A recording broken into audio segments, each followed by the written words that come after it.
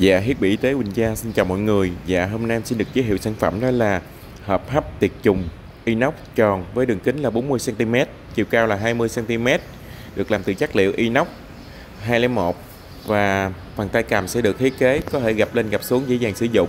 Thì hộp hấp này sử dụng cho các nồi hấp kích thước lớn. Thì phần nắp này nó sẽ có hai phần phá cố định để giữ cố định giữa nắp và phần hang của hộp hấp được sử dụng để hấp tiệt trùng các dụng cụ phẫu thuật như là bên kèm kéo kích thước lớn và kích thước nhỏ.